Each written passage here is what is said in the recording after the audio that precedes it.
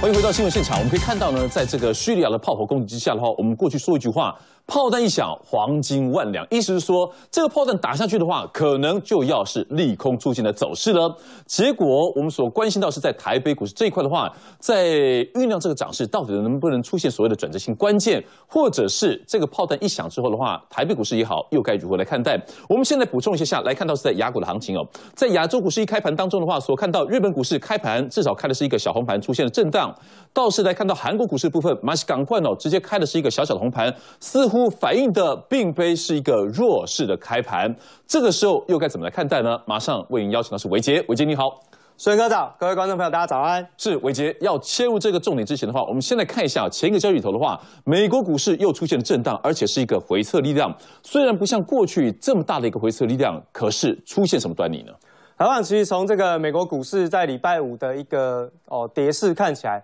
礼拜五刚刚好就是美国银行股哈。超级财报周公布财报的一个时间点，那么在公布出来之后，这些银行股的这个表现哦，其实都相当的亮眼，而且优于市场的预期。但是，等一下我们从视觉图的板块，你可以看得到，昨在上个礼拜五跌幅最重，竟然是在银行板块。那我们先从道琼的 K 线图来掌握一下，其实道琼看起来它的指数在短线上面其实是慢慢的往高点去做挺进，甚至呢要来挑战前一个这个。空方的一个缺口的反压区啊，那么在短线上面，其实它是出现了一个反弹比较强势的一个状况，但是它的量能是比较小。好，那另外呢，掌握一下在三天的低点，不要去做跌破，基本上在短线上美股就还算是比较强劲一些。那么另外呢，可以从这个 Nasdaq 的指数，我们也来掌握一下。Nasdaq 其实科技类股在反弹到了月线之后，就碰到了一个反压，而且距离三月二十二号的这个空方缺口还有一段距离，没有像刚刚我们看到的道琼是比较近的。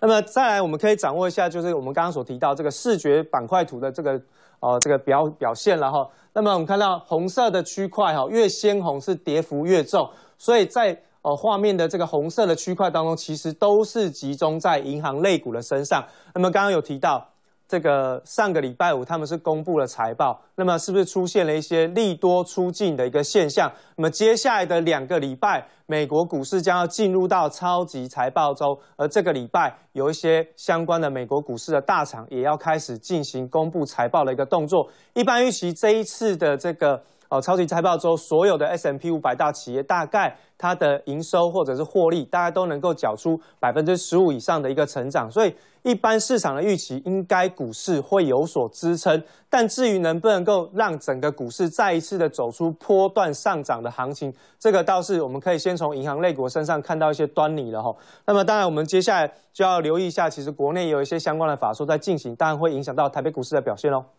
好，的确有这几个重点的观察当中的话，其实包含在从美股的观察，包含在台北股市部分的话，能不能出现重要性的转折？新闻面当中的话，这几个焦点的话题，首先要来看到最为重量级的全值就在台积电身上了。台积电法说在即，法说大戏里头，市场传出了不安的情绪了哈。等一下。二三三零台积电这个线型，等一下打出来看一下下。毕竟这个线型观察当中的话，又来到了颈线的位置哦。一旦失守，恐怕进一步的压力哈。等一下，请再再来告诉我们这个掌握的重点哦。再看到在日月光部分，这个控股公司挂牌进入行情，这是启动了吗？一个最重量级，一个也是重量级的哦。到底多空又该怎么判读？新 iPhone 下个月拉货里头。台湾厂商正要动起来了吗？拉货里头能够形成积极利多。前一个交易头看似下跌，可是苹果本身出现了微幅度的涨势。最后再补充一点，台市这个新台币的部分呈现强势的，南亚科汇损获利内伤。南亚科之前不是说低润报价持续上扬吗？而且行情走势里头相对比较犀利的，